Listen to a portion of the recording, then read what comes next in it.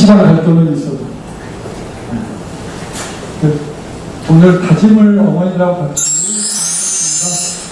이제 태연 결랑 한 말인데 행복에는 하나 바치면 아, 우리 자식 우리 자식에게 열린 지능의 문 한 가지가 무엇인지 누가 봐주겠습니까?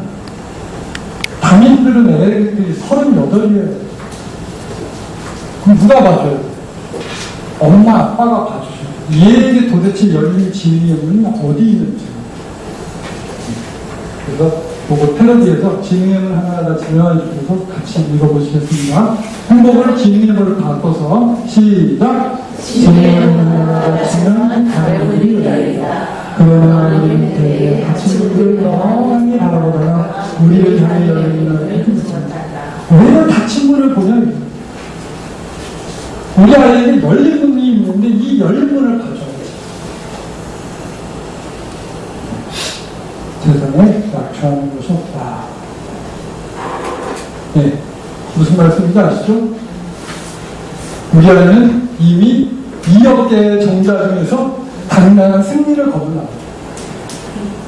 2억, 몇십억을 상대로 단정할 수 있도록 하자. 찌질하게 여기 대학 이런 것까지 60억을 경쟁 상대로 하도록